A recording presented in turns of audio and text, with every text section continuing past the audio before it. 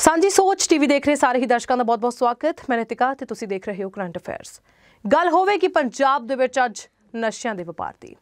ਬਲਵਿੰਦਰ ਸਿੰਘ ਜੰਜੂਆ ਨੇ web series cat ਬਣਾ ਕੇ ਠੀਕ ਕੀਤਾ। ਇਹ ਵੈਬ ਸੀਰੀਜ਼ ਪੰਜਾਬ ਦੇ ਵਿੱਚ ਨਸ਼ਿਆਂ ਦੇ ਵਪਾਰੀਆਂ ਦੇ ਨੈਟਵਰਕ ਬਾਰੇ ਹੈ ਤੇ ਉਸ ਤੋਂ ਵੀ ਮੁੱਖ ਤੌਰ ਤੇ ਪੰਜਾਬ ਦੀ ਪੁਲਿਸ ਤੇ ਸਿਆਸਤ ਬਾਰੇ ਹੈ। ਇਹ ਵੈਬ ਲੜੀ ਦਾ ਨਾਇਕ ਇੱਕ ਮੁਖਬਰ ਹੈ ਤੇ ਨੈਟਫਲਿਕਸ ਲਈ ਇਸ ਵਧੀਆ ਢੰਗ ਨਾਲ ਬਣਾਈ ਗਈ ਲੜੀ ਦੇ ਹੋਰ ਸਾਰੇ ਅਹਿਮ ਕਿਰਦਾਰ ਪੁਲਿਸ ਵਾਲੇ ਤੇ ਸਿਆਸਤਦਾਨ ਨੇ। ਝੁਕੇ ਹੋਏ ਪੁਲਿਸ ਅਫਸਰ ਤੇ ਉਹਨਾਂ ਦੇ ਕੁਟਿਲ ਮਾਲਕ ਸਿਆਸਤਦਾਨ ਮਿਲ ਕੇ ਅਜਿਹਾ ਮਜ਼ਬੂਤ ਗੱਠਜੋੜ ਬਣਾਉਂਦੇ ਨੇ, ਜਿਹੜਾ ਕਦੇ ਵੀ ਸਮਾਜ ਨੂੰ ਉੱਪਰ ਨਹੀਂ ਉੱਠਣ ਦੇ ਸਕਦਾ। ਕਿਉਂਕਿ ਇਹਨਾਂ ਨੂੰ ਨਸ਼ਿਆਂ ਦੇ ਕਾਰੋਬਾਰ ਤੋਂ ਬੇਹਿਸਾਬ ਪੈਸੇ ਰਾਹੀਂ ਅਜਿਹੀਆਂ ਅਣਕਿਆਸੀ ਦੌਲਤ ਮਿਲਦੀ ਹੈ, ਜਿਸ ਨਾਲ ਉਹ ਸੱਤਾ ਦੇ ਵਿੱਚ ਅਹਿਮ ਅਹੁਦਿਆਂ ਉੱਤੇ ਬਣੇ ਰਹਿਣ ਲਈ ਖਰੀਦਦਾਰੀ ਕਰ ਸਕਦੇ ਨੇ। ਸੋ ਇਹ ਸਿੱਧਾ ਜਿਹਾ ਪੁਲਿਸ ਸਿਆਸਤਦਾਨ ਨਸ਼ੇ ਦੇ ਪੈਸੇ ਦਾ ਗੱਠਜੋੜ ਯਕੀਨੀ ਬਣਾਉਣਾ ਹੈ ਕਿ ਹਮੇਸ਼ਾ ਹੀ ਕੋਈ ਹੀਰਾ, ਹੀਰੋਇਨ ਦੀ ਸਮਗਲਿੰਗ ਕਰੇ ਅਤੇ ਕੋਈ ਅਨਮੋਲ ਇਸ ਹੀਰੋਇਨ ਨੂੰ ਕਿਸੇ ਅਗਲੇ ਸ਼ਹਿਰ ਲੈ ਜਾਵੇ। ਫਿਰ ਜਿੱਥੇ ਕਿਤੇ ਵੀ ਉਹ ਫੜੇ ਜਾਣ, ਉਹਨਾਂ ਨੂੰ ਮੂੰਹ ਟਾਕੇ ਪੇਸ਼ ਕਰਦੇ ਆ ਨਸ਼ਿਆਂ ਦੇ ਤਸਕਰਾਂ ਨੂੰ ਗ੍ਰਿਫਤਾਰ ਕੀਤੇ ਜਾਣ ਲਈ ਵਾਹ-ਵਾਹੀ ਖੱਟੀ ਜਾਵੇ। ਪਰ ਇਹਨਾਂ ਬਾਰੇ ਮੁੜ ਕੁਝ ਵੀ ਪਤਾ ਨਹੀਂ ਲੱਗਦਾ।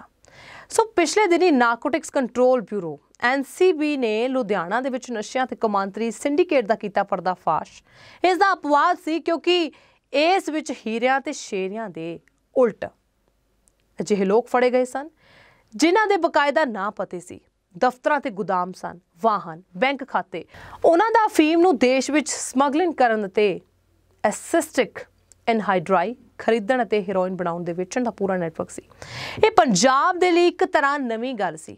ਐਨਸੀਬੀ ਮੁਤਾਬਕ ਇਹ ਗਿਰੋਹ ਦਾ ਸਰਗਨਾ ਇੱਕ ਚਾਹ ਵਾਲੇ ਦਾ ਪੁੱਤਰ ਅਕਸ਼ੇ ਛਾਬੜਾ ਸੀ, ਜਿਹੜਾ ਰਾਤੋਂ ਰਾਤ ਅਮੀਰ ਬਣਨ ਦੇ ਵਾਸਤੇ ਦੋ ਅਫਗਾਨ ਨਾਗਰਿਕਾਂ ਦੀ ਮਦਦ ਦੇ ਨਾਲ ਨਸ਼ੇ ਦਾ ਕਾਰੋਬਾਰ ਕਰ ਰਿਹਾ ਸੀ।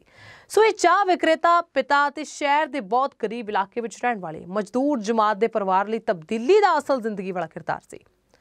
ਉਹਨਾਂ ਮਹਿਜ਼ 2 ਕੁ ਸਾਲਾਂ ਦੇ ਵਿੱਚ ਕਰੋੜਾਂ ਰੁਪਏ ਕੀਮਤ ਵਾਲੀਆਂ ਜਾਇਦਾਦਾਂ ਤੇ ਵਾਹਨ ਖਰੀਦੇ। ਨਾਲ ਹੀ ਕੀ, ਖੁਰਾਕੀ ਤੇਲਾਂ ਤੇ ਚੌਲਾਂ ਦੇ ਸਫਲ ਥੋਕ ਕਾਰੋਬਾਰ ਵਿੱਚ ਝੰਡੇ ਗੱਡ ਦਿੱਤੇ। ਸੋ ਐਨਸੀਬੀ ਦੇ ਖੇਤਰੀ ਮੁਖੀ ਗਿਆਨੇਸ਼ਵਰ ਸਿੰਘ ਨੇ 60 ਬੈਂਕ ਖਾਤੇ ਜਾਮ ਕਰਵਾ ਲਏ ਤੇ ਹੁਣ ਉਹ ਨਾਈਟ ਕਲੱਬ ਚਲਾਉਣ ਲਈ ਵਰਤੇ ਜਾ ਰਹੇ ਨਸ਼ਿਆਂ ਦੇ ਪੈਸੇ ਦੀ ਤਲਾਸ਼ ਵਿੱਚ ਨੇ, ਜੋ ਇਸ ਦੀਆਂ ਸੰਭਾਵੀ ਪਰਚੂਨ ਦੁਕਾਨਾਂ ਨੇ। ਜ਼ਾਰਾ ਤੌਰ ਤੇ ਨਸ਼ਿਆਂ ਦੇ ਵਪਾਰੀ ਚੰਡੀਗੜ੍ਹ ਮੋਹਾਲੀ ਪੰਚਕੂਲਾ ਵਿੱਚ ਵੀ ਅਜਿਹੇ ਉਦਮਾਂ ਨੂੰ ਜਿਹੜੀਆਂ ਰਕਮਾਂ ਨੇ ਮੁਹੱਈਆ ਕਰਵਾ ਰਹੇ ਨੇ, ਇਹ ਖੁਲਾਸੇ ਹੈਰਾਨ ਕਰਨ ਵਾਲੇ ਨੇ ਕਿਉਂਕਿ ਫੜੇ ਗਏ 16 ਮੁਲਜ਼ਮਾਂ ਵਿੱਚੋਂ ਬਹੁਤਿਆਂ ਦਾ ਰਿਕਾਰਡ ਬੜਾ ਸਾਫ਼ ਹੈ ਤੇ ਉਹ ਆਮ ਕਾਰੋਬਾਰ ਕਰ ਰਹੇ ਨੇ। ਇਹਨਾਂ ਦੇ ਕਾਰੋਬਾਰ ਬਾਰੇ ਇੱਕੋ ਗੱਲ ਬੜੀ ਜ਼ਿਆਦਾ ਬੇਕਾਇਦਗੀ ਵਾਲੀ ਸੀ, ਭਾਵ ਇਹਨਾਂ ਦੀ ਕਮਾਈ। ਮਸਲਨ ਜਸਪਾਲ ਸਿੰਘ ਕੋਲਡੀ ਲੱਕੜੀ ਦਾ ਮਿਸਤਰੀ ਸੀ, ਜੋ ਵਾਹਨਾਂ ਦੇ ਵਿੱਚ ਨਸ਼ੀਲੀਆਂ ਵਸਤਾਂ ਲੁਕਾਉਣ ਦੇ ਲਈ ਲੁਕਵੇਂ ਸਰਾਖ ਬਣਾਉਂਦਾ ਸੀ ਅਤੇ ਉਹ ਮਹਿਲ ਵਰਗੇ ਘਰ ਵਿੱਚ ਰਹਿੰਦਾ ਸੀ। ਇਹ ਆਮ ਕਾਰੋਬਾਰੀ ਦਿਖਾਈ ਦੇਣ ਵਾਲਿਆਂ ਦੀ ਦੋਹਰੀ ਜ਼ਿੰਦਗੀ ਦੀ ਮਿਸਾਲ ਸੀ। ਇਸ ਗੁਸਤਾਖੀ ਤੋਂ ਇਲਾਵਾ ਕਿ ਉਹ ਲੁਧਿਆਣਾ ਸ਼ਹਿਰ ਦੇ ਵਿਚਕਾਰ ਇਸ ਦੇ ਰੌਣਕ ਭਰੇ ਬਾਜ਼ਾਰਾਂ ਵਿੱਚੋਂ ਹੈਰੋਇਨ ਦੀਆਂ ਦੋ ਫੈਕਟਰੀਆਂ ਚਲਾ ਰਿਹਾ ਸੀ। ਉਂਝ ਇਹਨਾਂ ਖੁਲਾਸਿਆਂ ਦੀ ਇਸ ਤੋਂ ਵੀ ਵੱਡੀ ਗੱਲ ਇਹ ਸੀ ਵੀ ਉੱਥੇ ਜੋ ਕੁਝ ਵਾਪਰ ਰਿਹਾ ਸੀ, ਉਸ ਤੋਂ ਮੁਕਾਮੀ ਪੁਲਿਸ ਬਿਲਕੁਲ ਅਣਜਾਣ ਸੀ ਕਿ ਕਿਵੇਂ ਬੁਰਾਸਤਾ ਪਾਕਿਸਤਾਨ, ਅਫਗਾਨਿਸਤਾਨ ਤੋਂ ਅਫੀਮ ਆ ਰਹੀ ਸੀ।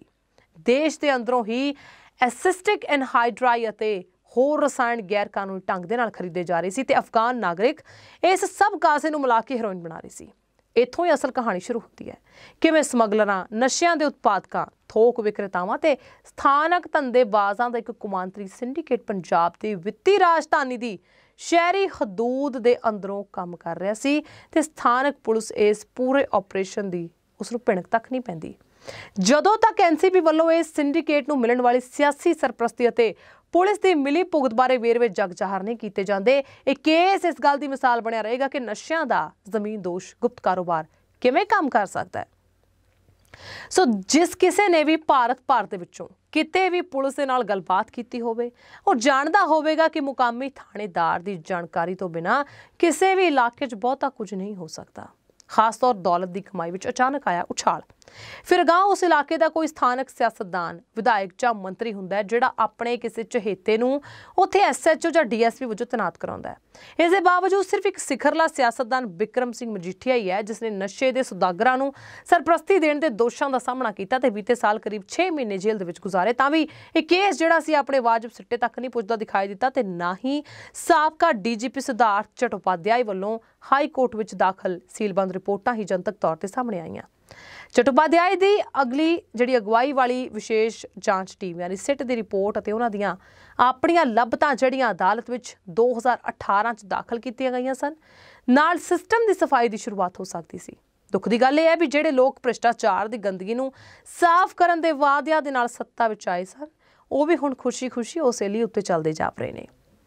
ਹਾਲ ਹੀ ਦੇ ਵਿੱਚ ਲੜੀਵਾਰ ਢੰਗ ਦੇ ਨਾਲ ਅਜਿਹੀਆਂ ਰਿਪੋਰਟਾਂ ਨਸ਼ਰ ਕੀਤੀਆਂ ਗਈਆਂ ਸਨ, ਜਿਨ੍ਹਾਂ ਰਾਹੀਂ ਪੰਜਾਬ ਦੇ ਸ਼ਹਿਰਾਂ ਵਿੱਚ ਅਪਰਾਧ ਜਗਤ ਦੀਆਂ ਉਹਨਾਂ ਹਨੇਰੀਆਂ, ਸੁਰੰਗਾਂ ਤੇ ਰੌਸ਼ਨੀ ਪਾਈ ਗਈ ਹੈ, ਜਿੱਥੇ ਨਸ਼ੇ ਜਿਹੜੇ ਨੇ ਖੁੱਲ੍ਹੇਆਮ ਵੇਚੇ ਵਰਤੇ ਜਾਂਦੇ ਨੇ। ਸੋ ਇਸ ਕਾਰੋਬਾਰ ਦਾ ਗੱਦਾਰੀ ਭਰਿਆ ਪੱਖ, ਇਸ ਰਾਹੀਂ ਪਾਕਿਸਤਾਨ ਦੀਆਂ ਨਸ਼ਿਆਂ ਦੇ ਨੈਟਵਰਕ ਦਾ ਇਸਤੇਮਾਲ ਕਰਕੇ ਜਾਸੂਸੀ ਦੀਆਂ ਕੋਸ਼ਿਸ਼ਾਂ ਲਈ ਰਾਹ ਪੱਧਰਾ ਕਰਨਾ ਹੈ। ਇਸ ਵਿੱਚ ਪਾਕਿਸਤਾਨ ਦੀ ਇੰਟਰ ਸਰਵਿਸਿਜ਼ ਇੰਟੈਲੀਜੈਂਸ ਨੂੰ ਮਹਿਜ਼ ਅਫਗਾਨਿਸਤਾਨ ਦੇ ਵਿੱਚ ਤਿਆਰ ਅਫੀਮ ਨੂੰ ਕੁਮਾਂਤਰੀ ਸਰਹੱਦ ਰਾਹੀਂ ਭਾਰਤ ਵਿੱਚ ਧੱਕਣਾ ਹੀ ਹੁੰਦਾ ਹੈ ਤੇ ਨਾਲ ਹੀ ਉਹ ਆਪਣੇ ਏਜੰਟਾਂ ਨੂੰ ਤੈਨਾਤ ਕਰ ਦਿੰਦੀ ਹੈ ਤਾਂ ਕਿ ਇਸ ਦਾ ਨੈਟਵਰਕ ਜਿਹੜਾ ਚੱਲਦਾ ਰਹੇ। ਇਸ ਦੌਰਾਨ ਸਰਹੱਦ ਪਾਰੋਂ ਡਰੋਨਾਂ ਦੀ ਵਰਤੋਂ ਕੀਤੀ ਜਾਂਦੀ ਹੈ।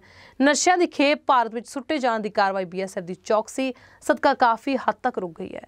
ਸੋ ਸਰਹੱਦੋਂ ਪਾਰ ਡਰੋਨ ਸਰਗਰਮੀਆਂ ਦੇ ਵਿੱਚ 250 ਤੋਂ ਵੱਧ ਘਟਨਾਵਾਂ ਰਾਹੀਂ ਹੋਏ ਚਾਰ ਗੁਣਾ ਵਾਧੇ ਦਾ ਪਤਾ ਲਾਉਣ ਦਾ ਸਿਹਰਾ ਬੀਐਸਐਫ ਦੀ ਸਥਾਨਕ ਨਵਉਤਸ਼ਾਹੀ ਲੀਡਰਸ਼ਿਪ ਨੂੰ ਜਾਂਦਾ ਹੈ। ਹੋਰ ਵੀ ਦਿਲਚਸਪ ਗੱਲ ਇਹ ਹੈ ਵੀ ਜਦੋਂ ਬੀਐਸਐਫ ਨੇ ਸ਼ੱਕੀ ਕੰਟਰੋਲ ਸ਼ੁਦਾ ਆਪਰੇਸ਼ਨ ਦੀ ਨਿਗਰਾਨੀ ਕਰਨੀ ਸ਼ੁਰੂ ਕਰ ਦਿੱਤੀ ਹੈ, ਜਿਸ ਵਿੱਚ ਡਰੋਨ ਡੌਪਸ ਵਿੱਚ ਪੁਲਿਸ ਦੇ ਮੁਖਬਰ ਵੀ ਸ਼ਾਮਲ ਨੇ ਤਾਂ ਸਥਾਨਕ ਪੁਲਿਸ ਨੂੰ ਇਸ ਦੀ ਬਹੁਤੀ ਖੁਸ਼ੀ ਨਹੀਂ ਹੋਈ। ਬੀਐਸਐਫ ਨੇ ਹੁਣ ਇਸ ਬਹੁਤੇ ਨਾ ਕੰਟਰੋਲ ਆਪਰੇਸ਼ਨ ਨੂੰ ਪੂਰੀ ਤਰ੍ਹਾਂ ਠੱਪ ਕਰ ਦਿੱਤਾ ਹੈ। ਇਹ ਮਹਿਜ਼ ਪੰਜਾਬ ਦਾ ਮਸਲਾ ਨਹੀਂ ਹੈ। ਹਰਿਆਣਾ ਵਿੱਚ ਵੀ ਇੱਕ ਸਾਲ ਦੌਰਾਨ 24 ਟਨ ਵੱਖੋ ਵੱਖ ਤਰ੍ਹਾਂ ਦੇ ਨਸ਼ੇ ਬਰਾਮਦ ਕੀਤੇ ਗਏ।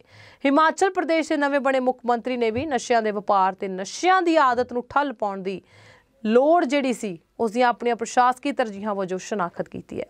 ਅਫਸੋਸ ਦੀ ਗੱਲ ਇਹ ਹੈ ਵੀ ਪੰਜਾਬ ਦੇ ਉੱਤੇ ਦਹਿਸ਼ਤਗਰਦੀ ਦੇ ਸਮਿਆਂ ਦਾ ਵਾਧੂ ਬੋਝ ਵੀ ਹੈ, ਜਿਸ ਨੇ ਹੋਰ ਹਰ ਤਰ੍ਹਾਂ ਦੇ ਅਪਰਾਧੀਆਂ ਨੂੰ ਖੋਲ ਦਿੱਤੀ ਹੈ, ਜਿਨ੍ਹਾਂ ਵਿੱਚ ਕੁਝ ਵਰਦੀਧਾਰੀ ਵੀ ਨੇ।